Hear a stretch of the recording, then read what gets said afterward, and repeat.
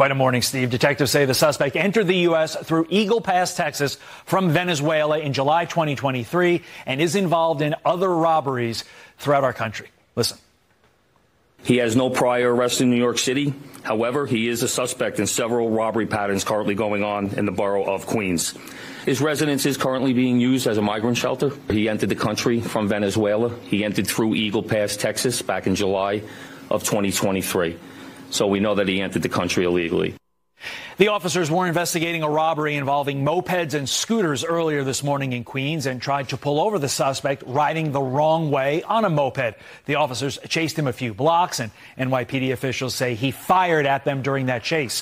One officer was hit in his bulletproof vest. The other was shot in the leg. They have, as you see right there on your screen, at least one of them since been released from the hospital. Now, the suspect was shot once in the right ankle and is in custody right now. Police say they're currently investigating more than 80 robbery patterns involving scooters and mopeds citywide. Steve, back over to you.